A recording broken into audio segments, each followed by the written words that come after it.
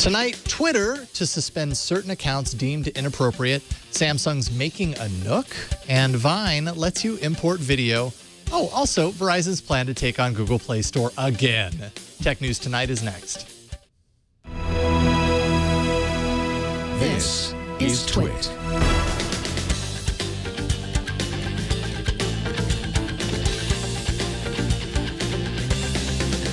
This is Tech News Tonight, episode 155 for Wednesday, August 20th, 2014.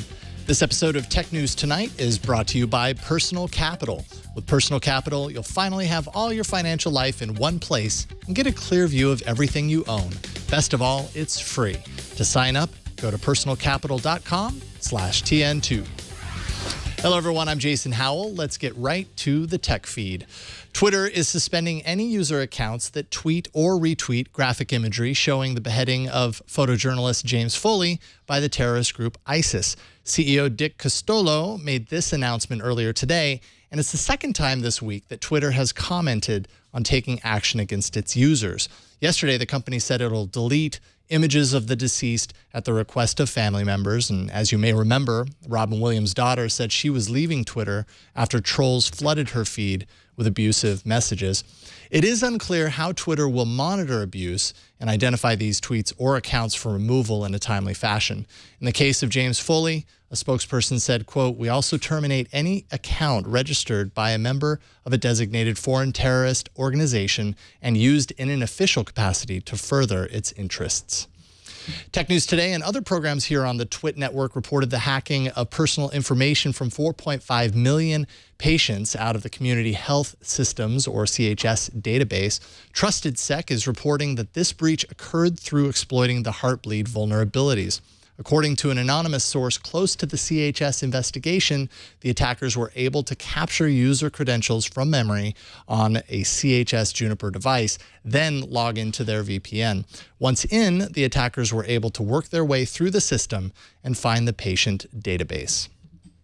Popular video sharing service Vine announced some new changes to the app that a lot of its users have been asking for. Users can now import any video on their phone into the app for slicing, dicing, and publishing to other Vine users in their six second creations. Sure, purists still say that creating Vines in camera inside the app as has been the case until now, has helped to define the creativity of its service. Well, now users can create those six second looping videos out of any source material they might already have on their camera roll.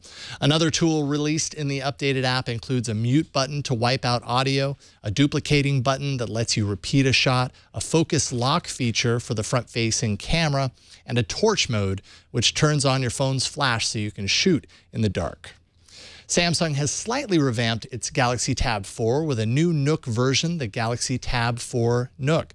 Barnes & Noble stopped designing new Nook tablets, and the Samsung tablet is a 7-inch 1280 by 800 display and goes on sale today for $179.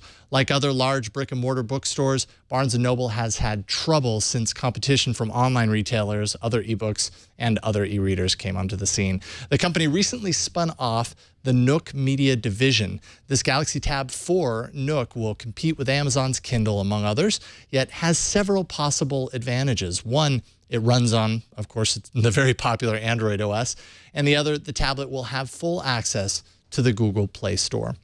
Coming up, the high-tech chair that lets you sit while standing. And up next, I'll chat with Amir Efrati from the information about Verizon's plans to take on the Google Play Store.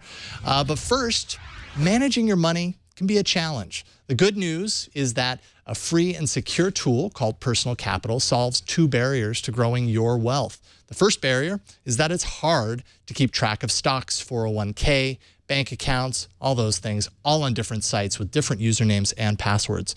The second is that you pay someone to manage it, and you're probably paying too much. Personal Capital brings all your accounts and assets on one single screen on your computer, your phone, your tablet, with real-time and intuitive graphs. Personal Capital has an award-winning watch app that you can download in Google Play that seamlessly integrates with Personal Capital on other Android devices and provides users with relevant and timely updates on their finances whenever and wherever they need it. Personal Capital shows how much you're overpaying in fees and how to reduce those fees. You also get tailored advice on optimizing your investment. So why wait? Signing up takes just a minute and it'll pay big dividends. Personal Capital gives you total clarity and transparency to make better investment decisions right away. To set up your free account, go to personalcapital.com slash TN2. Personal Capital is free and the smart way to grow your money. And we thank Personal Capital for their support of Tech News Tonight. All right, joining me today is Amir Efrati, senior reporter for The Information. Uh, how are you doing today? I'm great. Thanks for having me. Yeah, absolutely. Thank you for joining us. Now, you wrote a story today called, uh, titled Verizon Preps Challenge to Google's App Store.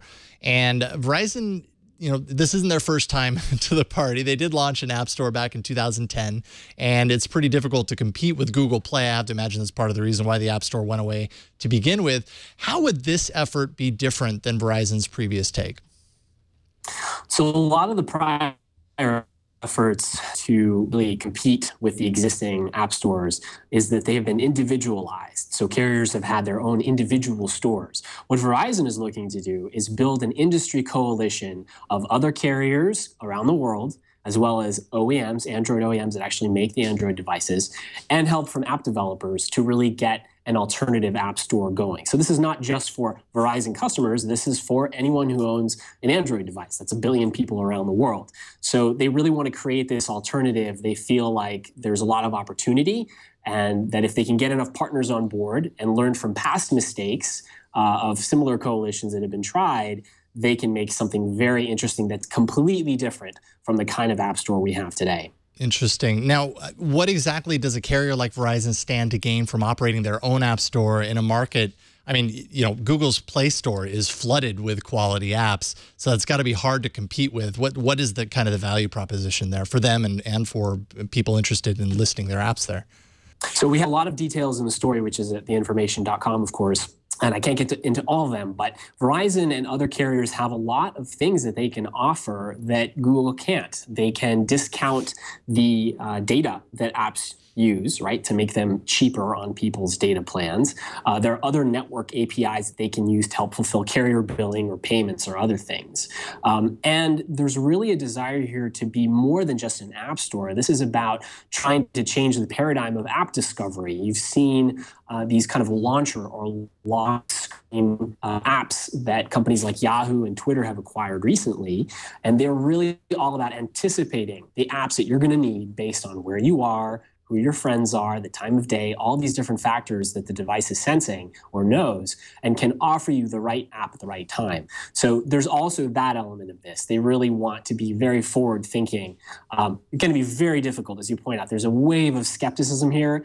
And believe me, uh, Verizon all the partners that it's talking to would love nothing more than for the industry or Google in particular to underestimate it, uh, that might sure. make it actually easier to get off the ground. Right. Sure. Yeah. I mean, I, I, I, can only think of, you know, some of the challenges here, you know, developer support, convincing developers to say, hey, yes, you should, you know, if there's any sort of tailoring their apps to the specific, uh, you know, store versus Google's or, or even Google's embedded presence on their phones. I mean, are there other challenges that uh, Verizon kind of is facing in this effort? Yeah, so uh, we, we sort of talk about in the, in the piece a lot of the different uh, historical efforts to to try to do to, to try to do these kinds of things, and there was a big effort four years ago with dozens of carriers that tried to band together, but at the end of the day, they really couldn't decide on one uh, way for an app developer to deal with all the carriers at the same time. It had to be very individualized, which sort of defeated the purpose. So they really want to uh, they really want to make life easier for the developers. And really, you know, there's there's a lot of reporting now and a lot of discussion about the difficulty of launching an app. Um, and there's a lot of debate about that uh, and whether it's possible or it, you know it's certainly not as easy as it used to be to launch an app and make it successful uh, on any mobile platform, given that there's just so many more uh, apps today than there were before. So one of the way one of the ways that they're looking to deal with that is actually allowing app developers to advertise um, through the App Store, which is something that Apple and Google currently do not do. And I know that's a very controversial kind of topic, but there are a lot of developers, huge marketing budgets that really are not able to use them uh, within App Store. So this is one area that they could tackle as well. Sure. Now, finally, you did get some pushback on this story. There was a statement from Verizon spokeswoman Deborah Lewis telling Recode, quote, we have no plans to do that, been there, done that, end quote. Uh, and it was quite a tweet storm I was following uh, as you ultimately called Verizon's statement misleading. Can you explain what you meant there? Yeah, sure. I mean, Verizon's not really responding to the details of our piece, which is all about discussions that Verizon is having and I can assure you is having yeah. with all manner of potential partners from app developers to OEMs and other carriers. Um, I don't really exactly know what they mean. I think they're sort of playing a semantic game and saying Verizon is not launching an app store, and we've done that before. We're not reporting that Verizon is launching its own app store. We're reporting that Verizon is building a coalition to launch a global app store with other partners. So I think that's kind of where the confusion lies. Yeah, and that's an important distinction right there. Amir Efrati, senior reporter with the information. Really appreciate you coming on the show and talking with us today. Where can people follow your work uh, that you do for the, the site online? So it's theinformation.com, or you can follow me on Twitter, just at Amir. Excellent. Thank you so much, Amir. Appreciate it. All right, and finally, folks working on production lines in factories are used to the backbreaking realities of the job, thanks in large part, of course, to the fact that they usually stand in one place and perform repetitive tasks all day long. Noonee, a startup based in Zurich, is looking to improve the scenario with their exoskeleton system that they call the chairless chair. It attaches to the worker's thighs, feet, and hips it's made of aluminum and carbon fiber. with the push of a button, it can go from allowing the normal mobility of its user to a static position.